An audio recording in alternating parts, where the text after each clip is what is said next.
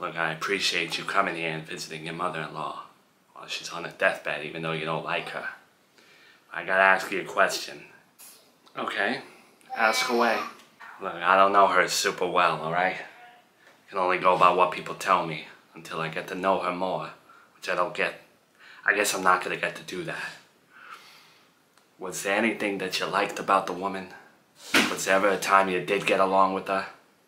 Um, we had our moments of civility where things seemed okay and I didn't hate her entirely and I think there were times where she didn't hate me entirely but those times were rare.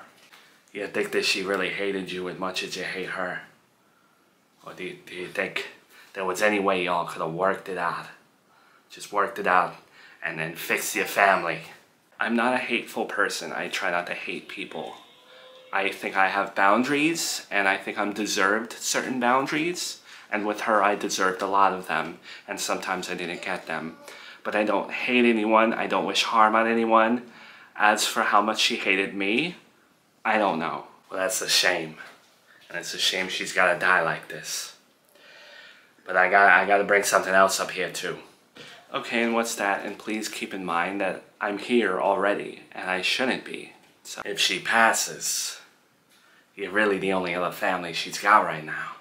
Her brother's in no condition to, to be paying for things like that. Her mother don't care about her. Her daughter don't care about her. Her son, who knows where the hell he is, with all due respect. I know he's your husband. But you're the only one with the funds that can cover something. If you're referring to what I'm what I think you're referring to, I'm her daughter-in-law, and we don't have much of a relationship. I don't think that I'm in the right position to, to be paying for her funeral or casket or whatever you're implying. Ah, well, you know, I'm, I'm here by her bedside, but I only known her a few days. Only know her a few days yet. You, you agreed to cut my brakes for her, no? I know nothing about cutting brakes. Nothing. Hey, look, I think the conversation should end there. I shouldn't be here. This has gone on way too long, and you're now making me feel uncomfortable. I, I not make you. I, I didn't mean to make you feel uncomfortable, but we do gotta talk about the end of life stuff here.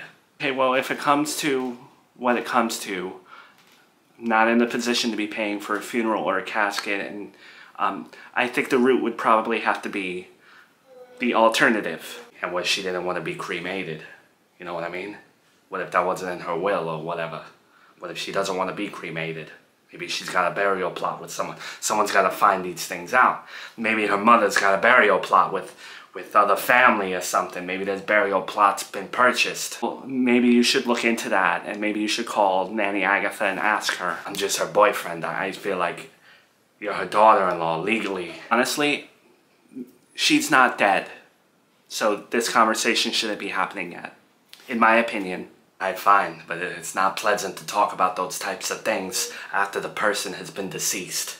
It's better to get these things ahead of time, but okay.